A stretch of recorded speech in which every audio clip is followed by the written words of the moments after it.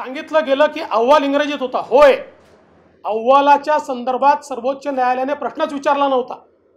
अहवालाच्या एनेक्स्चरच्या संदर्भात विचारला होता.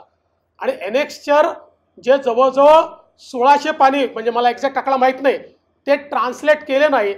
आणि त्यामुळे माननीय सर्वोच्च न्यायालयाने त्या ठिकाणी अतिशय स्पष्टपणे विचारलं की हा एकतर्फी अहवाल आहे का? याच्यामध्ये इतरांच्या बाबी ऐकून घेतल्या नाही आहेत का? त्यावेळेस आपल्या वकिलांना काही सांगता आलं नाही. जर एनेक्स्चर लागले असते तर ते सगळे एनेक्स्चर दोन्ही बाजूने आलेले निवेदनं त्याच्यावर घेतलेली सुनावणी आणि सुनावणीला दिलेला निकाल हा त्या एनेक्स्चरमध्ये आहे. ते एनेक्स्चर जाणीवपूर्वक या सरकारने ट्रान्सलेट केले नाहीत आणि हे देखील एका सुनावणीमध्ये स्पष्टपणे त्या ठिकाणी आलेलं आहे आणि काही ट्विटर अकाउंटवर ते ट्विट देखील झालेलं आहे आणि त्या संदर्भातल्या बातम्या देखील छापून आलेल्या आहेत. दुसरं नवाब मलिक जे म्हणाले की केंद्र सरकारने मागासवर्ग आयोग गठीतच केलेला नाही. हे देखील धादांत खोटं आहे.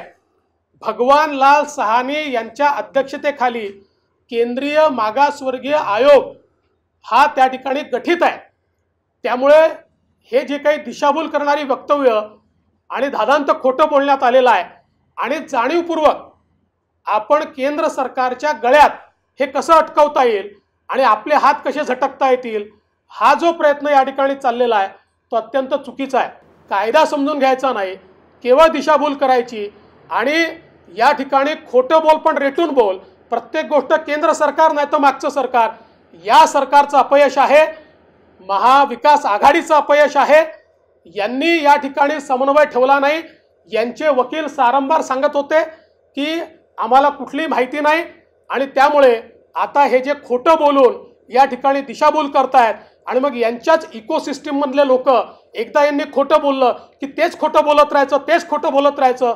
आता जनता आणि मराठा समाज हा जागृत आहे त्यांनी सगळं जवळून बघितलेलं आहे त्यामुळे हा खोटारडेपणा तुमचा ते स्वीकारणार नाहीत.